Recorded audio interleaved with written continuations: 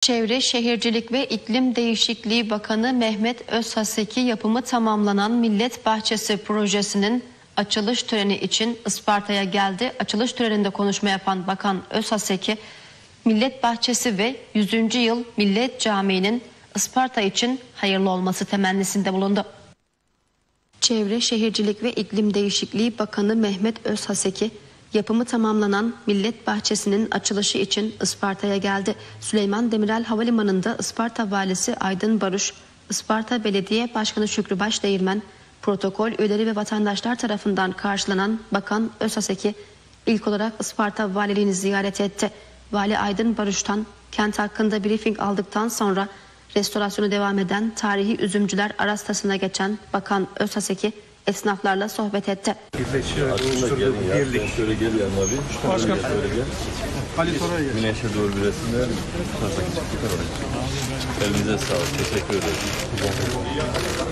Esnaf ziyaretinin ardından Bakan Mehmet Özhaseki, Milliyetçi Hareket Partisi ve AK Parti il başkanlıklarını ziyaret etti. AK Parti'de partililerle bir süre sohbet eden Bakan Özhaseki, Isparta Belediye Başkanlığı'nı ziyaret etti. Özhaseki, Isparta Belediye Başkanı Şükrü Başdeğirmen'den çalışmalar ve devam eden projeler hakkında bilgi aldı.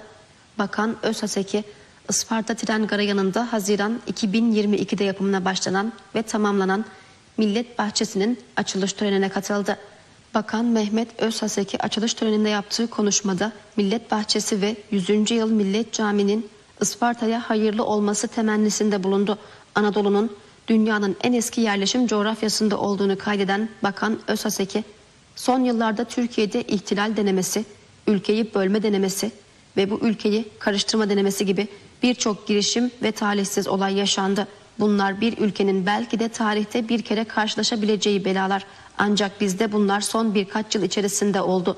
DHKPC, IŞİD, FETÖ ve PKK gibi bir sürü terör örgütü aynı yerden besleniyor. Aynı ülkeler bunlara destek veriyor, lojistik destek sağlıyor dedi. ülkeyi bölme denemesi ve bu ülkeyi karıştırma denemesi olarak bir taraftan gezi eylemleri, bir taraftan o zamanki hukuk darbesi, devam eden süreç içerisinde Güneydoğu'da birçok birçok ilimizi koparma, Türkiye'yi bölme projesi olarak çukur eylemlerinin ortaya çıkması.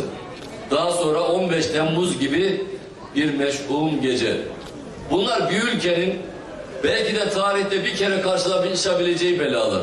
Fakat bizde bunlar son birkaç yıl içerisinde oldu. Bunların hepsi birkaç sene içerisinde oldu. Şimdi PKK belasından bahsediyoruz değil mi?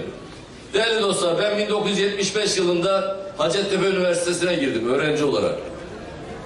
Duvarda rastladığım ilk slogan şuydu. Bıcı azadi, Kürdarı azadi. O günkü çocuk aklımda ne diyor bunlar dedim ya. Neden bahsediyorlar? Nereye özgürlük istiyorlar? Nereyi bölmek istiyorlar?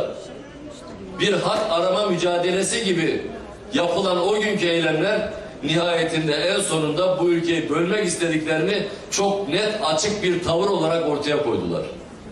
Dünyanın neresinde eline silah alıp da askerine, polisine, siviline, öğretmenine, orada yaşayan kendine hizmet eden insanlara çevrili olarak bu ülkeyi bölme gibi bir amaç için vahşiyane bir şekilde kullanılıyor ki Afrika kabilelerinde bile kalmadı.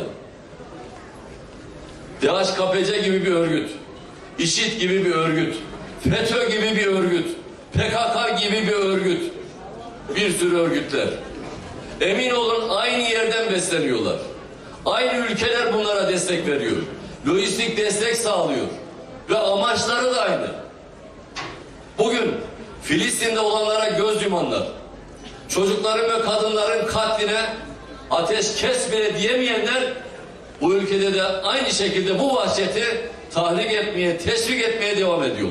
Isparta Valisi Aydın Baruş, Bakan Özhaseki'ye Isparta'ya yaptığı hizmetlerden dolayı teşekkür etti. Konuşmaların ardından dua okundu, açılış kurdelesi kesildi. Millet Bahçesi'nde incelemede bulunan Bakan Özhaseki, 100. Yıl Millet Camii'nde şehitler için Isparta Belediyesi tarafından okutulan Mevlid-i Şerif'e katıldıktan sonra Isparta programını tamamladı.